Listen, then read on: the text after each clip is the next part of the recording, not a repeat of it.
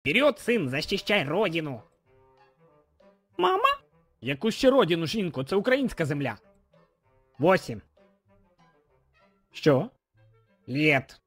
Ох ти ж, блядь. Восім лет дамбілі бамбас, как вам не стидно?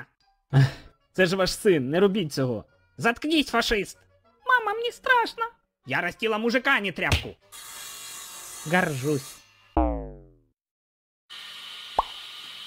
Ти проклята, Україна! Мой сын! У меня же еще два сына есть.